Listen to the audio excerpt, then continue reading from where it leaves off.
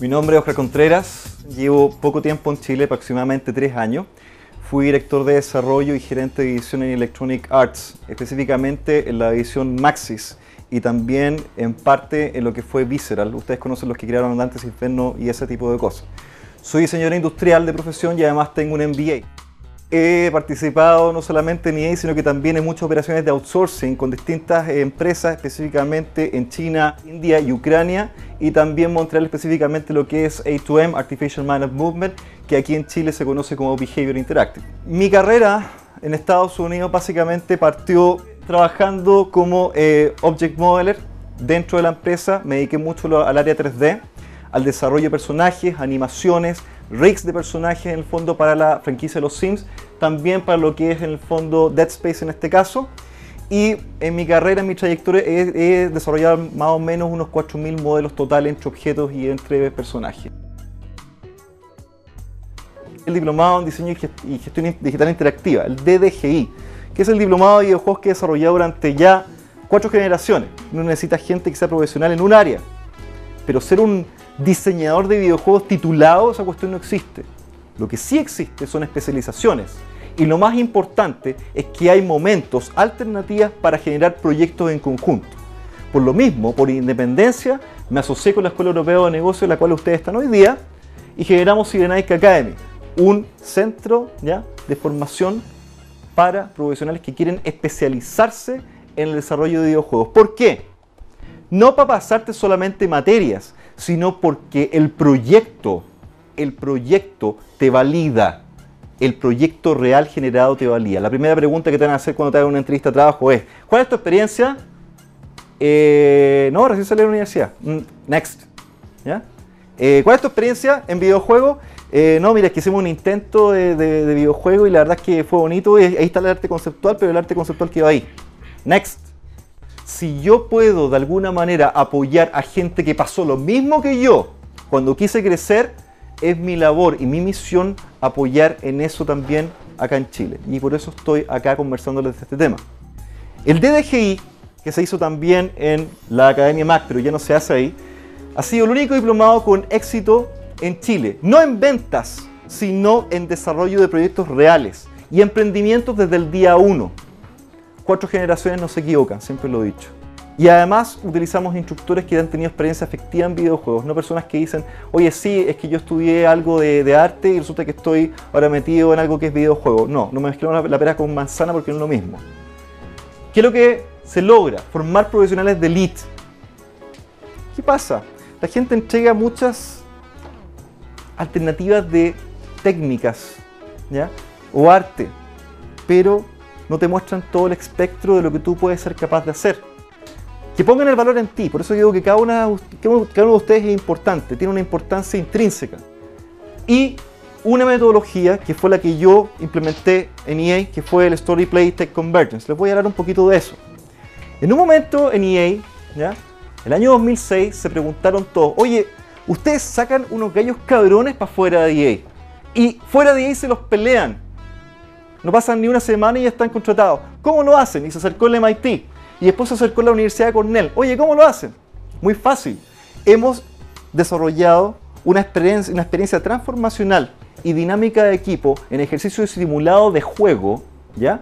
En el cual tú desarrollas tu propia empresa y desarrollas un, propio proyecto.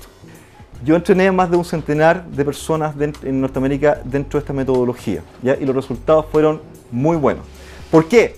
Profesionales dentro de la empresa, enfrentados a proyectos desde el día 1. Y así se formó EA University, dentro de la empresa. ¿Ya? ¿Por qué? Y aquí no vamos a ser amigos de nadie. Era echarnos a la competencia. Tener los mejores profesionales dentro de EA. ¿Ya? Y que no se lo pudiera pelear ni Activision, ni Blizzard, ni nadie. Dentro de la empresa. Estoy hablando de EA 2006, no estoy hablando de EA post cuando me fui. ¿ya? Porque harto ha cambiado las cosas. ¿Ya? ¿Qué se ha realizado? La gente puede aprender cómo desarrollar un juego exitoso, entender la estructura de ese videojuego. Y no solamente eso, cada persona, ¿ya? independiente que sea ingeniero, un artista, un diseñador, un productor, un ingeniero comercial, ha sido capaz de tomar roles distintos dentro de una dinámica de equipo para generar un proyecto. ¿A qué me refiero? ¿Han visto alguna vez un diseñador desarrollando un flujo de caja financiero proyectado 5 años? Se puede y se hace. ¿Han visto alguna vez un ingeniero comercial modelando en 3D como aquí lo he visto por ejemplo en Octeto? Se hace. ¿Ya? ¿Por qué? Porque el límite en la metodología norteamericana no te lo pones, no, te lo ponen desde afuera, te lo pones tú. En tu cabeza piensas que no eres capaz de hacerlo. ¿Ya? Y el profesor tiene que ser un facilitador. No una persona que te diga, oye, ¿sabes qué más tú vas a aprender de mí? Porque yo tengo 15 años de experiencia en videojuegos y lo que yo digo se hace. Esa cuestión se acabó. Es arcaica, ¿ya? Es sistémicamente enferma, ¿ya? Y está tirando a toda la generación de nuevos estudiantes en Chile a pensar de que básicamente están limitados cuando no es así. Porque nuevamente el proyecto te valida. Aprender a perderle el miedo al software. Hay, hay academias que te enseñan cómo hacer software Oye, ¿cómo se maneja Studio, Studio Max? Entra una, una clase y te, muestran, oye, esta es la interfaz de usuario. Una semana mostrándote la interfaz de usuario de Studio Max. ¿Qué cuestión más fome? ¿Ya? Oye, voy a aprender Photoshop o, After Effects. Oye, ya, la primera clase no es que tienes que aprender la interfaz. No, se aprende en el hacer.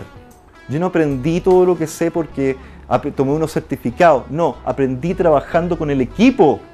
Me mostraban lo que hay y de repente me dicen, Oscar, Está equivocado, viejo, hazlo así, mira, mira este truco. Así se aprende, en forma vicaria, así se llama el aprendizaje, vicario. También desarrollar desde el concepto de un modelo, personaje, ambiente 2D al 3D de una manera profesional y llevarlo a cabo. También, por separado, hago lecciones de 3D en lo que es la técnica de Smart Modeling para desarrollar personajes o ambientes muy rápido.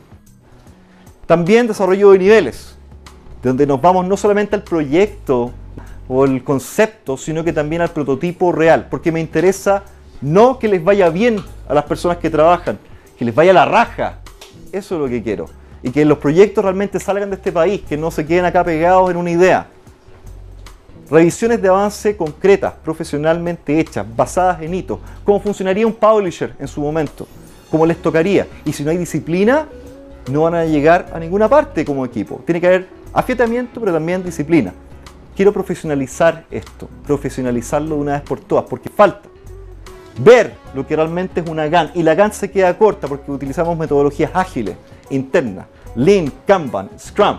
Y al mismo tiempo entender lo que es un flujo de caja y cómo funciona tu negocio, no desde el punto de vista de empleado. Ponte los zapatos del emprendedor, del empresario hoy, no después que entiendas por qué tienes que contratar a alguien o echarlo, por qué tienes que en el fondo aumentar tu flujo en ciertas partes, por qué tienes que bajar tu precio en, el desarrollo de un juego, cómo vas a negociar los royalties, las marcas, todo eso. Y eso me he dedicado a tratar de desarrollar. Voy más allá todavía. Ahí está Julio. ¿ya? En su primera entrevista simulada de trabajo haciendo un gameplay, por eso se llama Story Play Tech Convergence, de cómo sería una entrevista laboral simulada y ellos mismos pueden verse después cuáles fueron sus errores en el fondo. Es un completo coaching y además maneja todo el tema de marketing digital, tomando todas las cadenas de valor completas para que uno salga bastante seguro en el fondo de cómo tiene que formar o guiar su empresa para que sea conocida. Animan los personajes, aprenden musicalización y además, como les dice, prototipos llevados a comercial. No me interesan prototipos que no vayan a comercial. Ojalá que vayan a la venta, porque si no se van a quedar ahí. ¿Qué software se utiliza?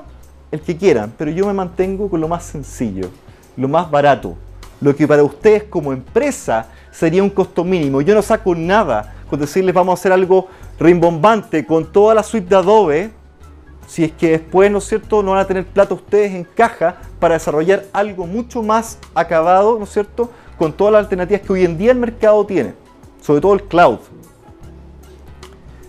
Ahí están las fotos de los emprendimientos, ustedes los vieron. Octeto, primera generación y Micropsia, la segunda.